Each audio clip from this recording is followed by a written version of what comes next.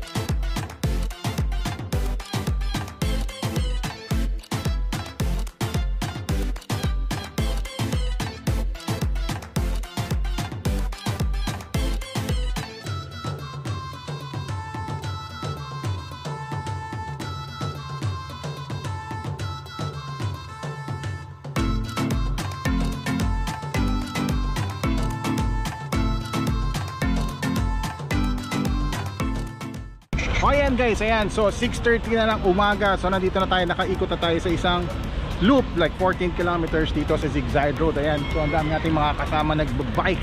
Alright, so ayan, dyan yan. May road bike, may mountain bike. Lahat yata ng bike, nakita ko na rito. Alright, ayan. Ayan ba, ang dami nila oh. So mostly pumupunta rito yung mga grupo-grupo. So mga, mga Pinoy groups at yung mga ibang lahing groups din na nagpupunta rito para magbike. So nagsama-sama rito. So ang dami nila, ang dami. So masaya. So fun ride. So hindi mabilisan. So ano lang like a joyride lang. So nag-enjoy lahat. Ayan. So nandito tayo sightseeing tayo ng Shigzide Road. Ayan. Yan yung museum na bago. So high-tech yan. Ayan. Yeah, very high-tech. Alright, ayan. So mag-ride pa tayo, ikot pa tayo isa. Alright, so nandito pa tayo. Alright, Zigzag Road Dubai Ride 2021.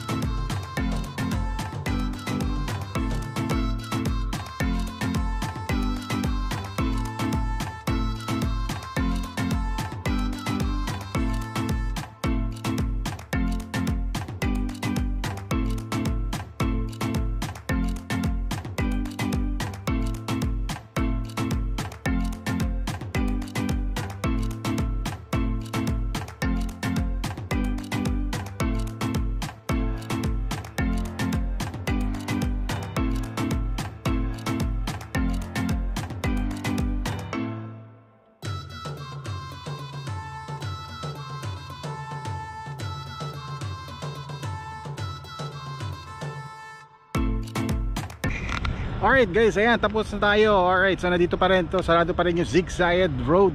Alright, so nandun yung U-turn. Alright, so pwede pang umisa Pero alanganin na yung oras eh. So 7.30 sarado na. Today 7.25 AM Alright, so November 5, 2021 Ayan, Dubai Ride 2021 Alright, so that's all For this year. Alright, ayan. So don't forget to subscribe on my channel. Alright, hope you enjoyed the video Hanggang sa muli, kita tayo sa bike vlog natin. Alright, this is DJ Ronald. Alright, bye-bye.